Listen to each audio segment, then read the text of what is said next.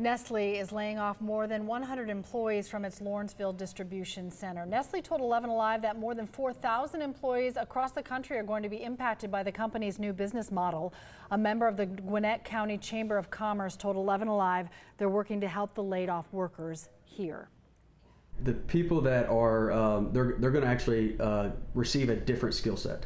Uh, by this transition. And the reason I say that is because uh, we have, uh, with the state of Georgia's help as well as the Atlanta Regional Commission, we actually have a SWAT team assembled uh, that are helping these people um, find additional jobs as well as ourselves. We are actually introducing these people to uh, new companies that are locating within Gwinnett County.